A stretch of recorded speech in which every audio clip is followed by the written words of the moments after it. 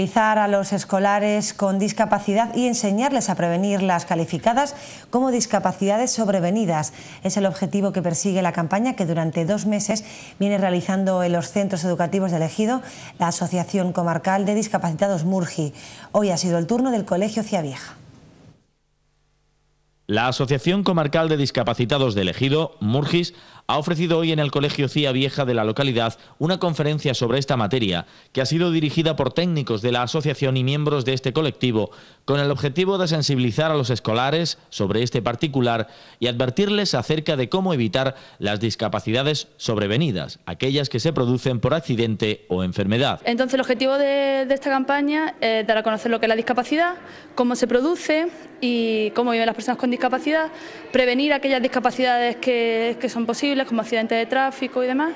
Eh, y accidentes que no son como los jugar con petardo y demás, que aunque están prohibidos, mm, no, hay, no hay colegio en el que no encontremos niños que no hayan jugado con petardo. Junto a Josefina Maldonado han participado dos miembros y voluntarios de la asociación que han explicado a los pequeños su propia experiencia con sus respectivos casos de discapacidad natal y sobrevenida. Eh, luego también eh, presentamos a Alberto. Alberto tiene una discapacidad visual y Alberto le, le explica cómo se diariamente por la calle, en su trabajo. Alberto es auxiliar administrativo de nuestra asociación.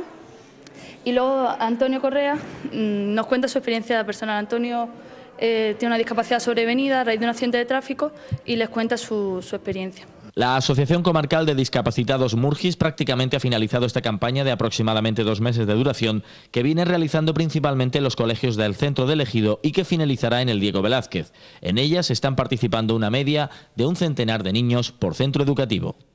Hacemos ahora una pequeña pausa para la publicidad, pero no se vayan porque volvemos enseguida con muchísimos más asuntos de actualidad.